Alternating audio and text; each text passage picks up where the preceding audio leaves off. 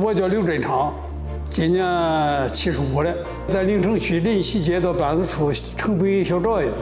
我呢，就是从七六年入党，呃，这个八几年任支部八八九年任支部书记。这个收藏这一块呢，呃，受受家庭影响。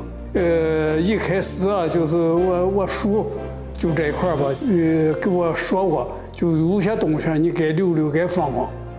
到后期吧，这个开是人上头的看上，对这就有感情了。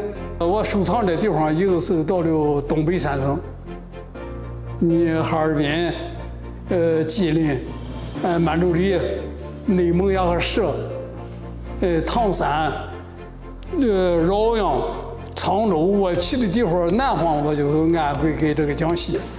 呃，在最后吧，因为上年纪的跑不动了，就是有朋友圈在朋友圈的交流，一直到现在吧，一直收藏着。在虽然我这个文化程度不高吧，但是我从这个文化这一块锻炼的不少。说说从这我受这个他的影响呢，我就想了从建党以来的这个历史状况，嗯，我就想了解这一块就通过收集这些当地这个政治资料、这书本啊，收集这些资料。这么收集以后，越收集越多，是越收集越上瘾，嗯。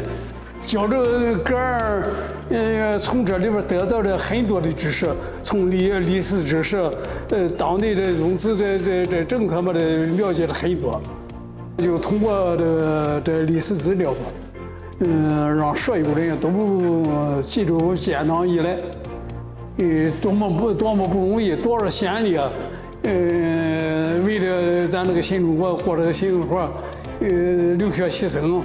见过以后，在那个困难时期怎么过来的？原先咱的领么就这领导人是怎么个工作作风？呃，叫大伙都了解，希望就把咱当地这个优良传统啊，呃，继承下去，传发扬下去。